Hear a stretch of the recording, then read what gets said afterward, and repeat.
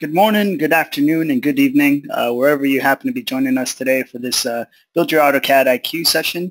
My name is Alex Pena. I will be moderating along with uh, my fellow colleague Nauman Maisarwala for uh, our final installment of the Build Your AutoCAD IQ for this fiscal year. Um, this session will be covering the third dimension, solid editing, tips and tricks in AutoCAD 2018. Um, this will be presented by my colleague teammate, and fellow Alex, Alex Buller. Just to give you folks a little bit more information about ourselves, uh, as I mentioned, my name is Alex Pena. Alex Buller will be uh, presenting very shortly. We're both uh, technical support specialists out of the Boston uh, office here. Um, Nauman himself is an Autodesk Expert Elite um, out of uh, the Cincinnati area. Um, he has been working with us within the program for a few years now and is very knowledgeable. Has presented AU classes and you can find him on the forums answering questions and uh, any, any type of uh, assistance that we may need tonight or today. He uh, will be supplying that for us within the chats and answering questions and anything else that he feels um, should uh, we should bring some attention toward.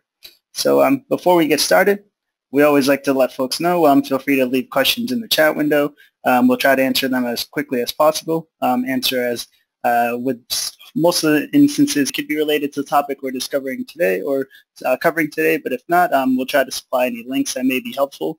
Um, this session will be recorded and updated to our YouTube channel uh, fairly shortly after we uh, the session is over. Um, we'll try to keep up with that. Um, links are available in the re registration reminder. And um, as always, we love to hear the feedback um, from folks, especially since this is the year-end uh, sort of webinar. Uh, we will like to get ideas for the next year, um, different ways that we can interact with you folks that might be more beneficial to you if you find certain topics that aren't being covered or um, something you just really would like to know more about. Um, any of these uh, things should be mentioned in the post-webinar survey and uh, as recommendations or just feedback in general. If you like how the way we're structuring the program, if you would like things to be a little bit different, um, we're always open to listening to you folks as we try to kind of tailor these for you. And uh, just to supply some more information, um, this is uh, January 2018. As you can see for February 2018 here, we don't necessarily have a schedule out yet, but you will be receiving a reminder email. Um, this year we'll actually be trying a, a few different things as well. Um, with the webinar being such a, a, a, lengthy time, amount of time that folks have to dedicate to, um, something that we're looking into for the this new fiscal year is um, kind of creating shorter content that's easier to digest for, for customers. So that's something to be on the lookout for. Um, the, the topics will vary. Um, some will be uh, certain things that we covered in webinars that we didn't get to go too in depth with, or um, some that can be actually related to verticals, um, such as uh, Civil 3D or Plant 3D, um, just in case folks did want to brush up on their skills or learn a new product. Um, so that's something that we are kind of looking into. Again, if you folks do have some feedback on that, we're always open to listening. Um, you can always uh, obviously find all of these videos at the Build Your AutoCAD IQ uh, webinar playlist on our YouTube channel. Um, uh, you can download the data sets from our box folder, which will be available shortly after this uh, webinar is presented. And uh, from there, uh, we'll always try to supply as much helpful links as possible. Um, this slide here will kind of get you started on AutoCAD LT and AutoCAD. one thing that I do want to mention with this being the 3D um, kind of side of things. It won't necessarily get into too much AutoCAD LT as it doesn't have the capability. But um, if there are instances where something's brought up that is compatible with AutoCAD LT, we'll be sure to point that out to you folks. Um, uh, these are great links for um, folks who are just getting started or who need to get brushed up on certain ways to troubleshoot, certain things uh, that they may have not been aware of. All this stuff is available um, publicly and we just try to kind of aggregate congregated in one local spot for you. Uh, this week's agenda includes uh, solid editing, so going within the properties palette, grip editing primitives, Boolean commands, solid editing, uh, and then solid versus surface versus mesh. Before we get into it, so um, before we do get into this, I do want to throw out a few polls for you folks, um, just to kind of get a, a, scope as to uh, who, what kind of audience we're having here today. Uh, the first one that I want to uh, throw it out there is if this is your first AutoCAD, uh, I build your AutoCAD IQ webinar. Alrighty, so it looks about 69% of the folks have voted so far. I'll let this go for a little bit longer just to make sure I get a as close to a hole on the audience. Alrighty, so we'll close this guy out and we'll share the results. So um, it seems like 85% of the folks voted. Uh, 98% said no, 3% said yes. Somehow the calculation is off there. We're 101%. We're giving you guys maximum effort at all times. Just keep that in mind. Uh, so what I'll do is uh, throw out one more, or a couple more, I should say. Um, what we really would like to know is which AutoCAD application you are using. As I mentioned, um, this is a fairly important one just because if you are using the LTs, um, you may be uh, kind of lacking on some of the substance of this uh, webinar itself. And I'll let this go for a little bit longer just to but uh, a good point to actually make would be is if you are using the LT, this may be an option to consider getting the AutoCAD full version if you see some features that you really like within the 3D. And um, from there, it's something that I, I personally would recommend. Uh, why not? Why limit yourself? Um, you could always find ways to uh, create information or present information in, in a more concise way for folks, then why not try? I'll close this guy out and uh, share the results. So it seems like we have about 73% of the folks working with AutoCAD for Windows, so a majority of us, um, and 31% AutoCAD LT for Windows. This would be good exposure for certain things that the AutoCAD for Windows can do.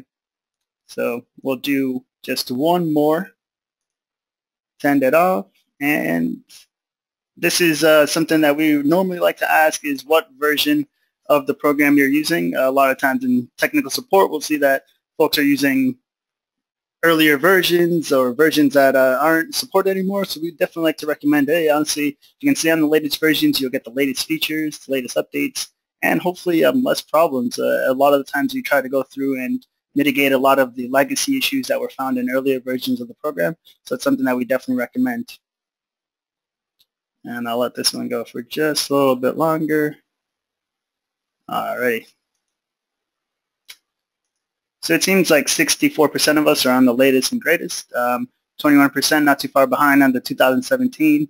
And um, for the folks who just don't know which way, uh, how to find this information, um, just a quick way to do this would be typing in about on the command line and hitting enter, uh, A-B-O-U-T. Uh, from there, you'll, you'll, be prompted with the product version and if you have any updates and such. Um, one good thing to keep in mind, folks, you can always get to the Autodesk desktop app, and from there, uh, you'll be able to access any of the latest updates for the product version you have. A lot of times, as I mentioned, um, those updates will help with any of the issues you may be seeing. So um, now that we've done this uh, entire onboarding here, I'm going to send you over to my fellow Alex, and uh, hopefully he'll be able to show you guys some cool new things within the program, things that you haven't learned. And if, they, if it is something that you have learned, maybe something that um, kind of brushes up your skills on it. So um, without further ado, I'll kind of uh, toss it over to him and let him take over when he is ready. All right, Alex, thank you so much. Let me just uh, get presenting here. And it looks like we can see it. All right, well, Alex Pena, thank you so much for that great introduction. Um, again, my name is Alex. Muted. Just to confuse everyone, we're kind of slowly making sure that everyone in the Boston office is just named Alex for ease of name remembering. Um, but anyway, I'm happy to be here. I'm going to be going over some 3D modeling with you guys. Now, we did this last year where we took our time and actually had like a case study of using a lot of the functionality available to us in AutoCAD. And but the one thing that we did kind of recognize, I guess, the post-mortem was, you know, we were able to do a huge amount of this modeling with only a handful of tools, but we really didn't do a good job at, at going through the entire spectrum of functionality that is available to us in the software. So rather than doing a case study this go around, I think um, the best thing to do is to just kind of take a step back and go through all of the functions that are available to us in um, AutoCAD for uh, 3D solid editing and, and just kind of show you more systematically what each one of those does within the software. Now, I have a vanilla out-of-the-box AutoCAD installation here. So before we really dive into um, going through the commands, the first thing that I want to do is I want to actually make sure that I'm in the 3D modeling workspace. So if I go down here to this little gear doodad, I have the option for 3D modeling. And then from here in the Home tab, we have easily accessible uh, the, the commands for, for solid editing. And this is really where we're going to be spending a lot of our time. Now, again, like uh, Alex had mentioned, if you're using LT, this isn't going to be available to you. But I still don't want to discourage you from leaving the webinar. I, I mean, feel free to stick around, take a look at what we're doing, see if it's something that interests you, like Alex was mentioning before. But also, if you have like a super fast internet connection, you might actually be able to get AutoCAD at some point within the presentation. If you just open up a web browser, and, and if you just Googled Autodesk AutoCAD, you should be able to navigate yourself towards a free trial download, and that gives you 30 day of full access to the software. So if you just want to maybe quickly go ahead and do that and then get the software, that way you can actually see what it is we're doing. Now, once we're in our 3D modeling space, you'll see up here in our Home tab, you know, over to the left we have our modeling where we have our primitives where we can create boxes, cylinders, and a whole bunch of different geometry. You know, there is some editing functionality for those primitives in here. Now, I'm not going to spend time here. I think there, there might be webinars that have been done in the past that kind of go into greater detail on the creation of these primitives. But I'm really going to be spending my time in the solid editing and to some extent the, uh, the mesh. Now over here, we have union, subtract, intersect, and interfere. And these are referred to as our Boolean operations. And I don't know if any of you remember um, linear algebra or logic in university, but it's actually uh, named after a guy named George Boole, who did a lot of work on the logic behind how these operations impact geometry. So we kind of name that stuff after him. But we have the slice, we have the thicken, we have down here extract, imprint, color edges, copy edges. We got extrude. I'm not going to list all these. We'll go through these systematically. And then down at the bottom here, we have separate. Now, there are a couple of these that we're not going to touch on. Um, because the geometry that we're dealing with, as you can see in the model space, is fairly primitive, but you know, when you get to a little bit more complicated geometry, you know, it might be something that you guys want to take a look at um, because it should help uh, clean and, and, you know, have a certain degree of QA, QC on your, on your models. So let's just get right into this. I'm going to zoom in. Now, just to, to, I guess, bring you a little bit up to speed, I'm, I'm kind of looking at things in an isometric view. If you see my view cube here, I kind of just tagged one of the isometric corners, but if I hold down the shift and center scroll button, I can move around my environment. And just to give you a sense that, yeah, it is in fact some 3D geometry that we're looking at. And if ever I get lost, I could just click on that isometric view again and zoom in. The other thing I, I just want to touch on, because I am going to be bouncing back and forth a little bit between visual styles, up here in the left corner are the options that we have available for visual styles. So right now, the default is for hidden, but you know I can change the style, conceptual, and you'll see that my model space is going to be updated based on the visual styles that I have selected. And some certain features show up a little bit better in different visual styles. But for now, I'm going to keep things on hidden. And I'm actually just going to start, I'm just going to dive in. The first command I want to show you is union. So say I have two individual 3D solids. These are two separate entities and you can see if I grab one I can move it away and again if I hold that shift down and center scroll button they are disconnected but rather than having two individual components, say hypothetically I want to make these one entity, one 3D solid. What I can do is I can go up to my union, and I can select my two objects, hit enter, and now they are one. So as the name implies, I made a union of the two to make one. So pretty straightforward. Moving on to subtract. Now, say in a situation I have in my model two features, but rather than having the two here, I actually want to remove where the bottom object, or top object, but for now let's do the bottom, where this bottom 3D solid intersects this top one. I'm going to go up here, hit subtract.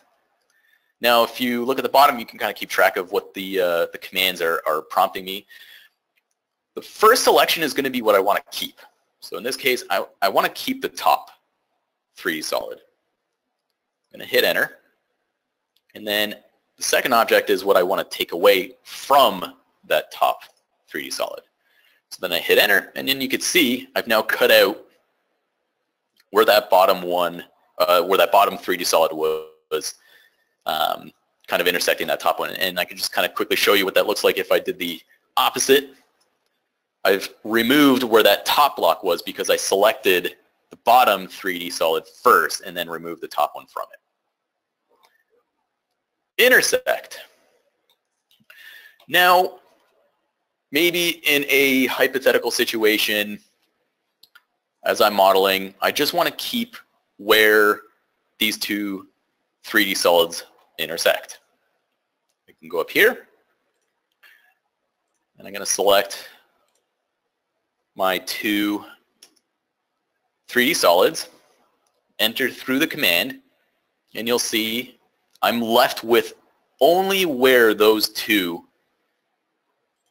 intersected. So kind of handy.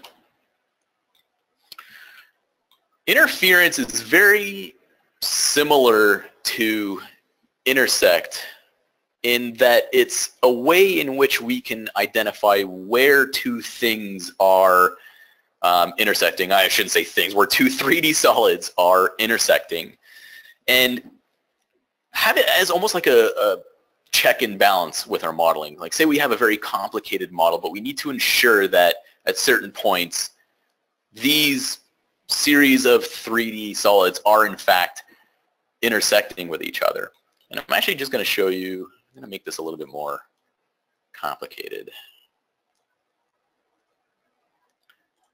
I'm just going to copy this guy over. just to kind of make the model a little bit more complicated. I'm going to go to this guy here, interference, select first set of objects. I'm only going to select the top one. And then I want to select where subsequent 3D solids intersect that top guy. And here we go. We kind of zoom in. We kind of go into a wireframe visual style and you can see graphically where those two features are intersecting. And we have options to zoom, we can pan, you know, we can rotate just to kind of get a, a little bit more um, conceptual sense of where things are going. We can kind of highlight one over the other to see where things are intersecting. And if I just leave this guy selected and I hit close, so delete interfering objects after create on close, it's gone. So it's not actually retaining that information. However, maybe I do want to keep that information. If I run through the interference command one more time, I'm going to go back into this dialog here. If I uncheck delete those objects and I close it, I actually get to keep those guys. So Let me move that guy up there, and there they are. And I could move things around, and you can see that they are remaining there. And, and actually, if I, if I take this guy and I right-click and I go to Properties, I'm actually going to leave this guy up. You can see that it did, in fact, create a new 3D solid.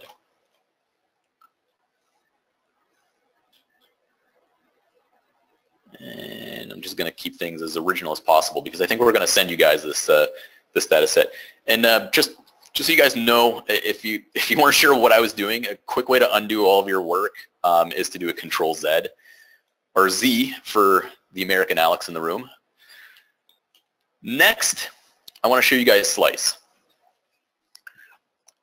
Now, I have here a 3D solid. I have a, a primitive that's a sphere, but you know, this is a perfect example how um, certain visual styles don't really depict what's going on. All I see is kind of a circle. So I'm actually going to go, uh, let's just do realistic. Gives you a much better handle on what it is we're looking at here. You can actually see that this is, in fact, a sphere. Slice is pretty cool. It enables me the, the opportunity to kind of cut through my 3D solid in any which way I want. So if you go up here, looks like the uh, wedge of cheese with the cheese knife cutting through it. If I click on that guy, I can select my 3D solid, hit enter, and at the bottom you'll see that we got a whole bunch of options on how we can go about slicing our 3D solids. Um, you know, if we had intersecting 3D solids, we can kind of pick one over the other. If we had an intersecting surface, we could do that. Um, we could do it a bunch on a bunch of different uh, axes or planes. So for this example, I'm just going to take the XY plane and it's going to ask me, well, where on that XY plane do I want to make my slice? I'm actually just going to select the center of the sphere. And then next, it's going to ask me, what do I want to keep? I got the choice of slicing this thing in half and keeping both sides, or I can pick one or the other. For now, I'm just going to default to both. And you'll see now I actually have two, let me zoom that, there we go, two separate 3D solids. And I can grab one and I can move it away. You see I got now two separate solids sliced right through the middle of that. I'm just going to undo undo all that, make sure it's one again. I just want to quickly show you what it looks like if I were only to keep the bottom one. So again, I'm going to go to my slice, select my 3D solid, hit enter. Actually, I'm going to make sure I select the X, Y plane. So if I scroll up or down on the Z axes, if I have a positive Z, it's going to keep the top half of my sphere because I'm cutting on that XY plane. If I go down in the negative Z, I'll keep what's on the bottom. So say I just want that bottom. There we go. Super easy. Really cool way to just really simply edit geometry in, in AutoCAD. Now, next, I'm going to talk a little bit about thicken. Thicken is super useful for when you want to go from a very, very simple primitive 3D object. In this case, I got myself a 3D spline. But ultimately, I need this to be tangible as a 3D solid. First thing I'm going to do is I'm actually going to extrude this guy out using the extrude option here. And I'm going to stretch this guy out. Not quite there yet. If I select on this guy, you'll see that it's actually only a surface. So a surface is something with infinitesimally thin thickness. Really not going to do us a whole lot of good, especially when we're going through the solid editing options. But what I can do with this guy is thicken him.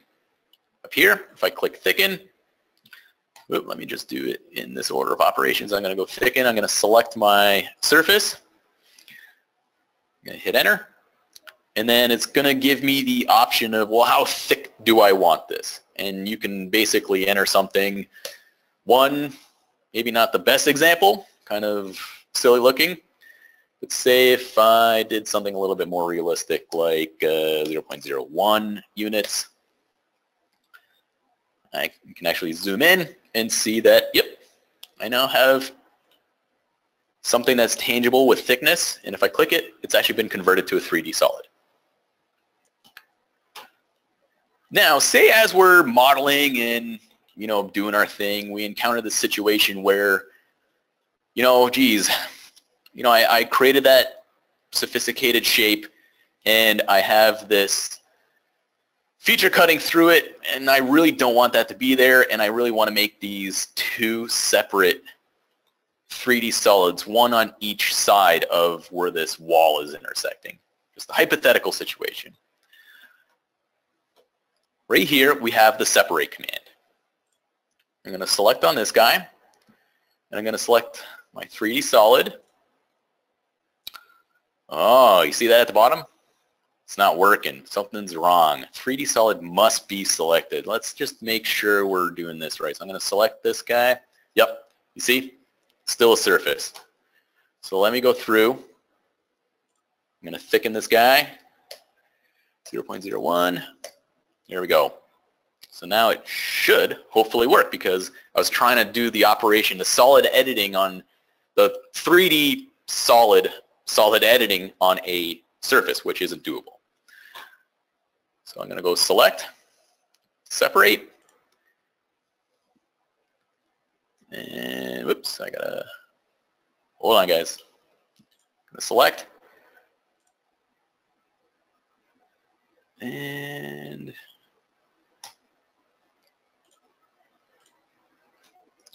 hold on, something's changed.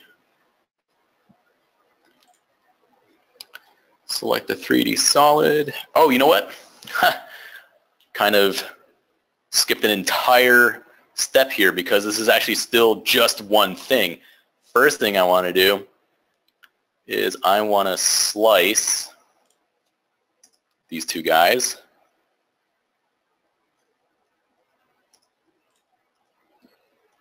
Nope, not slice. Subtract. Brain fart moment, guys. Sorry about that.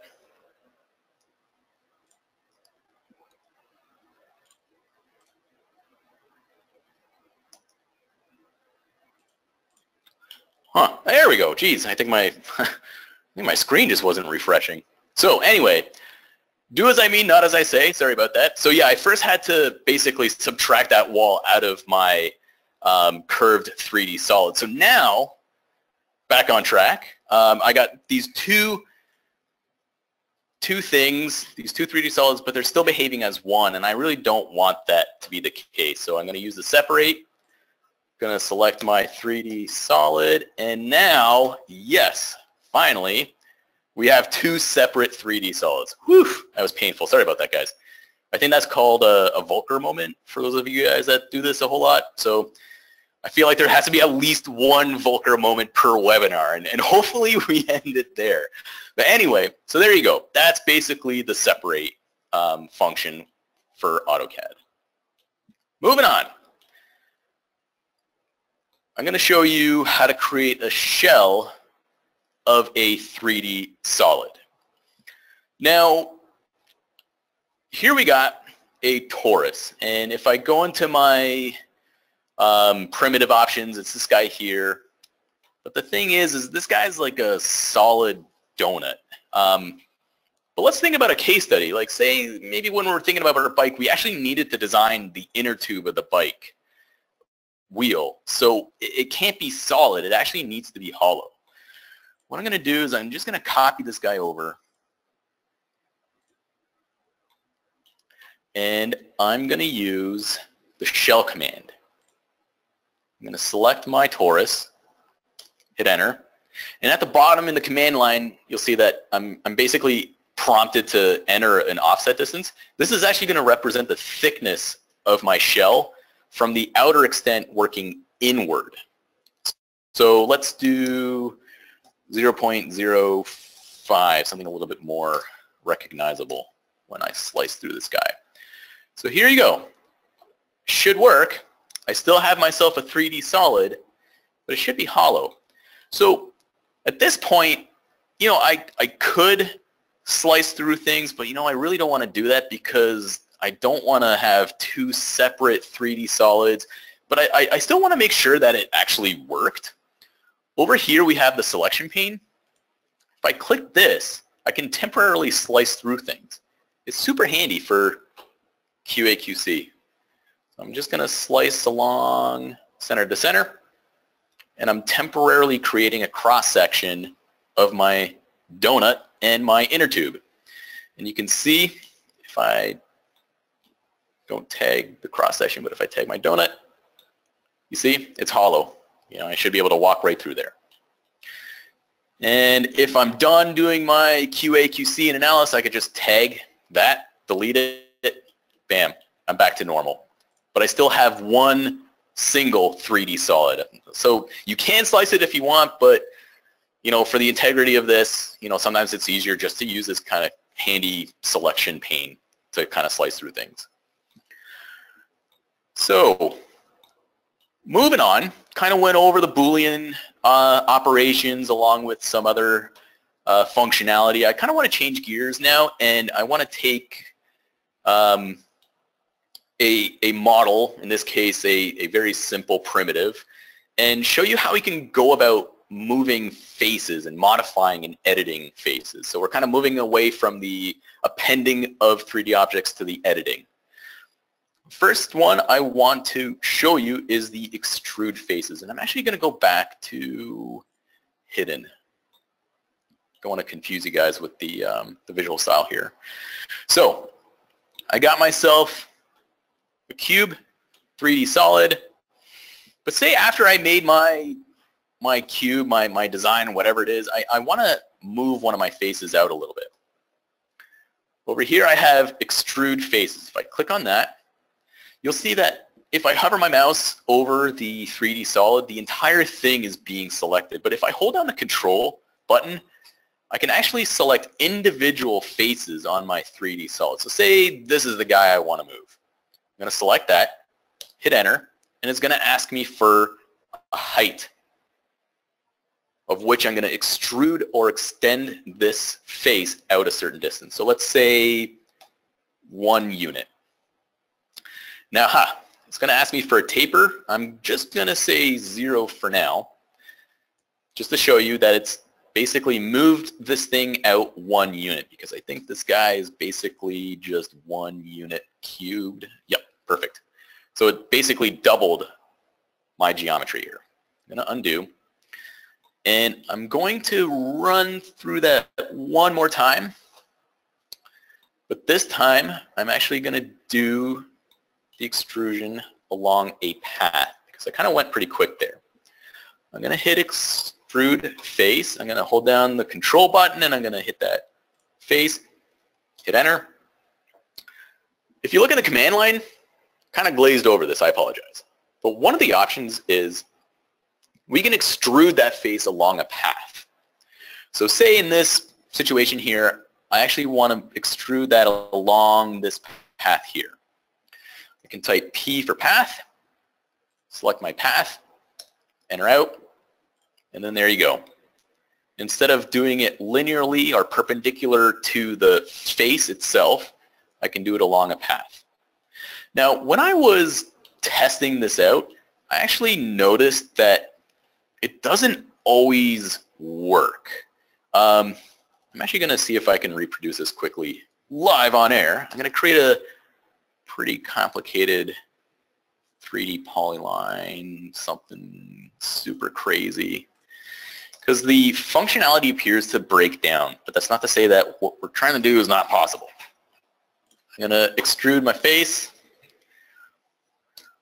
along a path, select my path, and you see, nothing happened. At some point, it's possible to enter a situation where the path along which we're trying to ex extrude isn't going to work. But we have a way around that. For this, I'm actually just going to do a slightly different geometry just so we can compare them. I'm just going to create a circle. So say I have a circle and I want it to be represented as a you know, cylinder kind of going along this path. Over in our modeling environment, we have this sweep command. From the sweep command, I can actually select my circle, hit enter, and then my alignment. I'm going to select my alignment, and then there you go. Maybe not the best um, path to use, but you can see that it actually took that circle and it swept it along that path. And then we were basically able to generate a 3D solid on that complex path. by using the sweep rather than extrude face. So if you encounter a situation like that, just remember, hey, you're not out of luck. You're not stuck on modeling. There are other ways in which you can kind of achieve the same thing. And that's actually one of the coolest parts of AutoCAD. I feel like there's 10 different ways of doing the same thing, or at least getting to a point where your, your ultimate objective has been achieved. Now, I, I do want to do one last thing on the extrude face. And that is, is actually to extrude outward. In this case, I'm just going to go perpendicular along the face. But I'm going to do it with a angle. So I'm not going to do a path. I'm going to do a height of 0.5 units. But say I wanted the extruded face to taper downward at a 15 degree angle. I can do that. Exit out. And then you could see what that looks like. Now this is super, super handy. Um, actually thinking back to our case study, when we were in here creating the gears on the bicycle, we did things slightly differently to kind of get that curved appearance. But if you have a situation like this where you just need to quickly represent a tooth on a gear, it's not not bad. I mean, as you saw within like a couple of clicks, we got something that looks pretty similar to the geometry on our gear from that example that we had in that case study last year. So there you go. I'm going to move on. I'm going to go to taper face and I just finished watching Guardians of the Galaxy 2 with my daughter the other day and I told myself I'm not going to I'm not going to say something different, but I don't know if you guys seen that movie, but there's like taser face. so taper face, not taser face, um, essentially gives us the ability to take the existing geometry we have and start kind of like cutting through it. If I go over here, I got taper face, not taser face, taper face. I'm going to hold down control. I want to select my face. And say I want to take this face and cut it inward at 15 degrees. I'm going to take my bottom point and then I'm going to select another point along the axis in which I'm going to apply the angle. So here, and then 15 degrees, and it cuts in just like that. And I'll take another orientation just to kind of give you a sense. So say this face here, I want to cut in this way, 15 degrees. I can go taper face, hold down the control, enter, my two points along which I'm going to project this way 15 degrees. So taper angle is 15, and then there you go. Pretty quick and pretty easy. All right, moving on to move face. Over here, we got move face. I'm going to hold down control just to select a face. Now this is similar to extrude.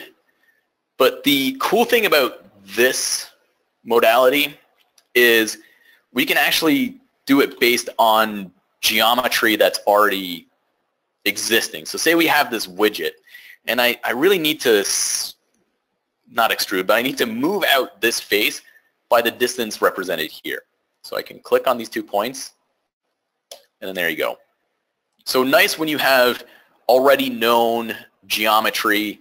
Um, you know, you don't have to type in a specific number. Um, you know, you can kind of just quickly tag along the geometry of this widget or model that we already have created. Copy face is kind of handy. So hypothetical situation, I created my widget. I got uh, things looking the way I want them to, um, but I need to make a new widget, but I want to recycle some of the faces that I created because I really like them and I think they're, they're working well. If I go over here, I'm going to copy face. Now actually before I do that, I just want to show you guys what I'm doing. So here we got our widget and it has like this hole perforated right through it. I'm going to go to copy face. I want this guy and this guy. Say those are my starting points. I'm going to hit enter. I'm just going to offset that guy somewhere else over here. So now instead of reinventing the entire thing or doing a bulk copy and paste and trying to modify things, I can actually just take a couple of my faces as the starting point for my new widget. So that's kind of a handy tool as well. Offset face. So over here, we have this option to offset face. This is kind of cool. I can take a couple of different faces and move them out by different dimensions. So say I got my widget here, but I realize, you know, I was off and these guys need to be, you know, extended further out. I can select those guys, hit enter, specify my distance, in this case, say one unit. There we go. Another handy tool. It's going to undo. Delete faces. Before I show you this guy, I'm going to extrude this guy out by one unit and say 15 degrees. So say I have this hypothetical situation where, you know, I realize instead of like this tapered nose on my model, I actually want to have this plane projected further out. So I want it tapered on the top and the bottom, but I really don't want the sides. I don't want to redo my entire model. I'm going to go over here, delete face, again holding down the control. Whoops, grab the wrong face. Delete face. There we go. Hit enter. There you go. I removed that face and basically projected outward the plane on the remaining face that was there. And I can do the same thing on the other side.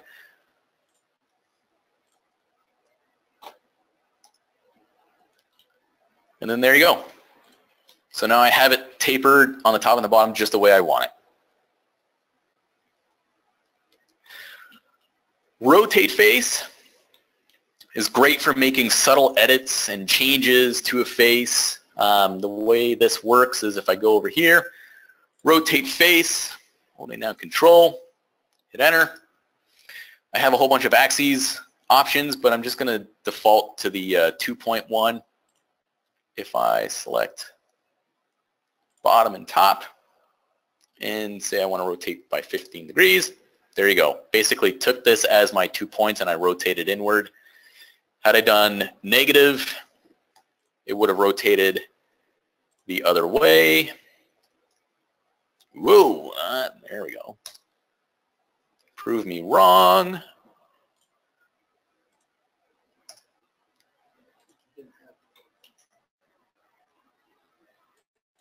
So negative 15. There we go.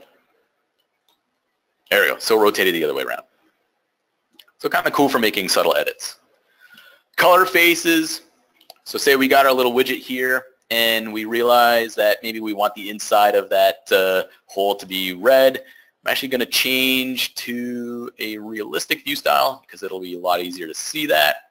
I'm going to go over here and I'm going to go color faces. I'm going to select in there enter. Let's make that guy red. And then there you go. So you can do that for any of the faces on there.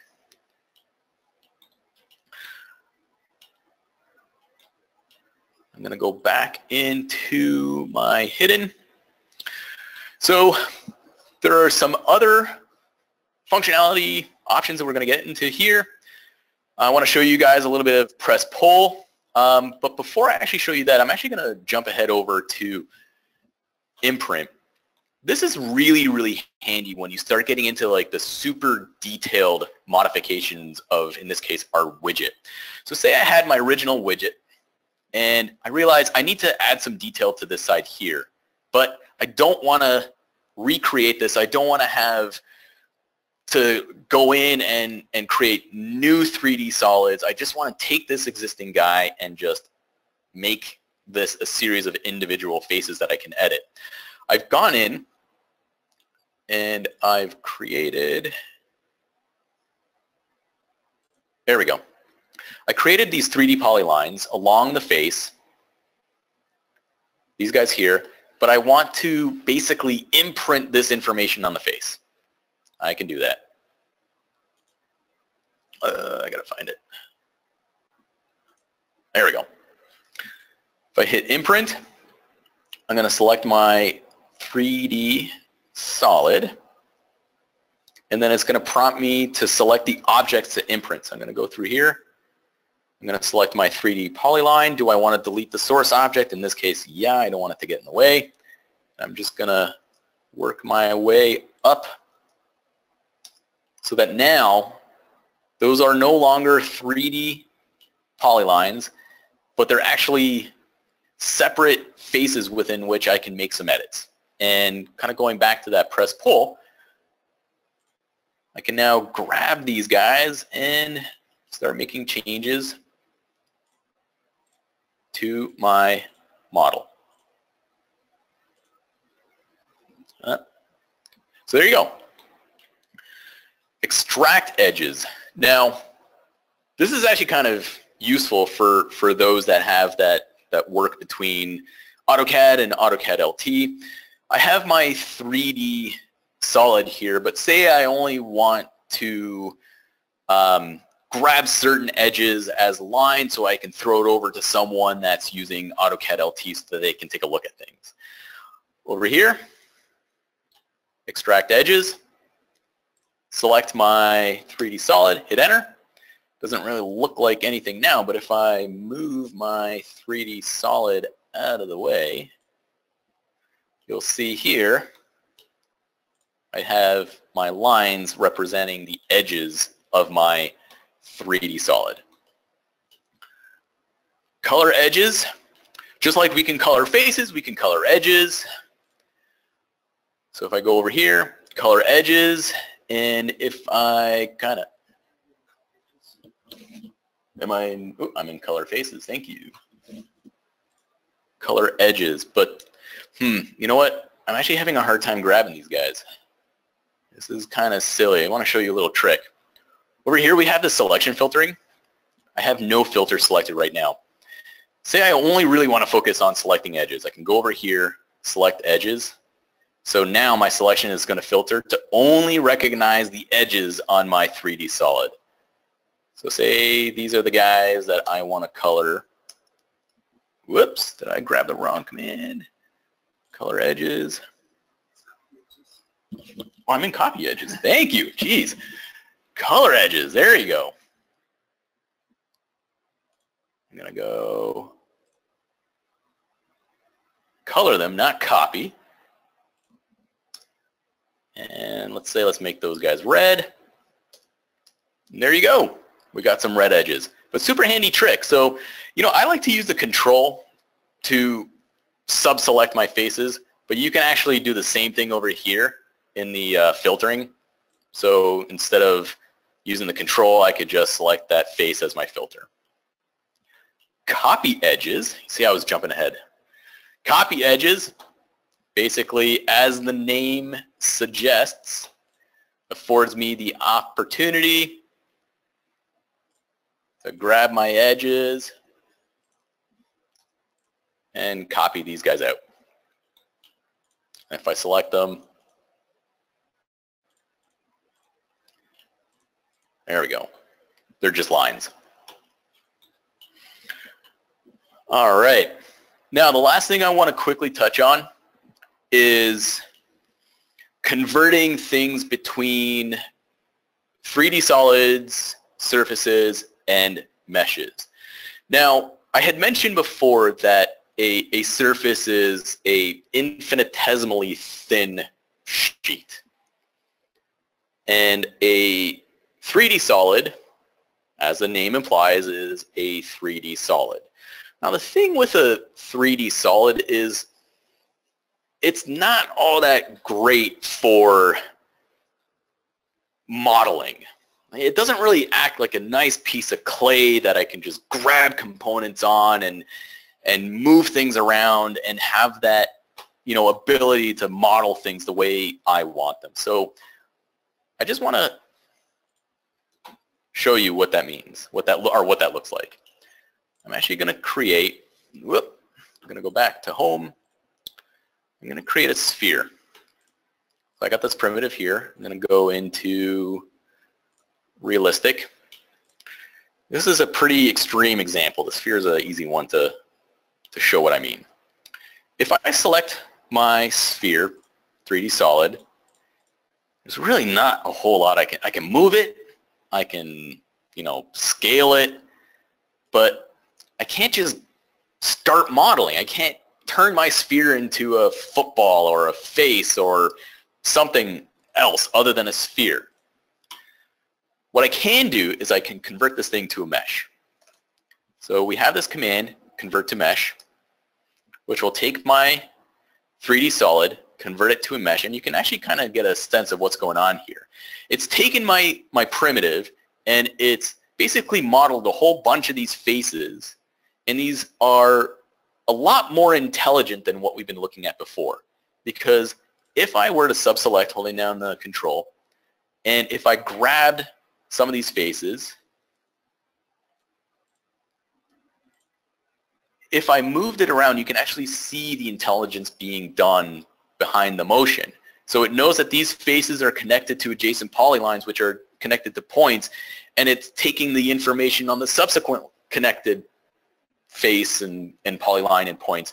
So there's a huge amount more intelligence, which affords us a lot more flexibility in modeling something. So very, very handy.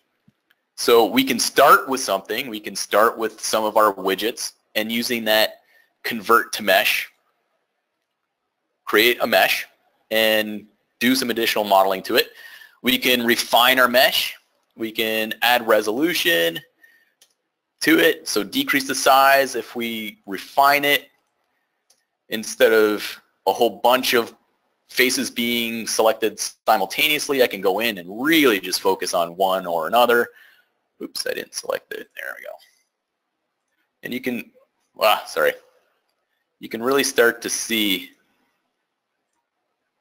how intricate we can get in making these changes. But say I'm finally done. I took my mesh, made my model, but I still want to capitalize on a lot of the functionality that we just went over throughout this webinar. If I select my mesh I can type in convert to solid and it's going to do the best it can. It might take a while to take that mesh and convert it back into a 3D solid. And once I've done that, I can go back here. I could, you know, use all the functionality that we've been going on before in, in this webinar. The last one, and I realized, wow, this is uh, it's almost the top of the hour. Sorry about this, guys. Um, the last one is basically taking that 3D solid and converting it into a surface. So we can use a convert to surface command right here. So if I tag it, we'll see that it's a surface. And if I took my my plane, you can see that it's a you know a cube with infinitesimally thin walls. So that's pretty much the end of my presentation. So Alex, do you want me to pass it back to you?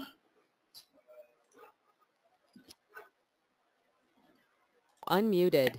Yep, you can pass that on over and we'll finish off the slides. Um, thank you so much for that, Alex. I think that uh, we're we're all learning many things here from this from this presentation. I know I, I had taken a few different notes myself. And let me just get that going. So let me know when you can see my screen.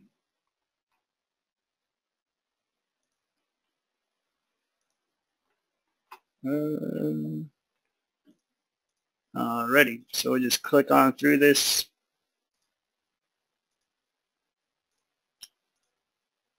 And um, uh, there will be some additional resources, as Alex mentioned, not me, the other one.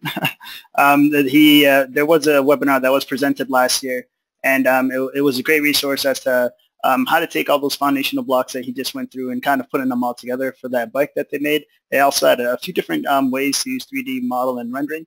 Um, something that we definitely recommend. You could find that on the Build Your AutoCAD IQ playlist as well. Um, if anything, probably getting a better understanding with this uh, presentation and then moving on to that one, you could possibly go through and recreate the entire situation and actually use it for more practical situations if you do find one that for example, um, might fit your day to day. I knew that I, I know that I learned a lot. So one thing that I do want to do is before we end this, I know we're at the top of the hour, is um, just basically get one more uh, poll out there, um, and a fairly popular one um, is, uh, did you learn something new today? Uh, a lot of the times we like to kind of uh, gear these towards something that hopefully develops something, uh, gets the, the brain kicking in, in different ways that you're not used to in a sense or something that, that you, a new feature that might, you might be able to use on a day-to-day basis as uh, making you more efficient toward your work. I do see here we're about 66% voted. I'm Just going to let it go for a little bit longer. Alrighty, so I'll close this guy out and share the results. So it looks like a pretty favorable 97% of you folks were able to learn something new. For the other 3%, feel free to come in contact with us if you'd like to present your own webinar on, on how to on how to better this. Uh, we're always listening to feedback. Um, again, Alex, you did an amazing job.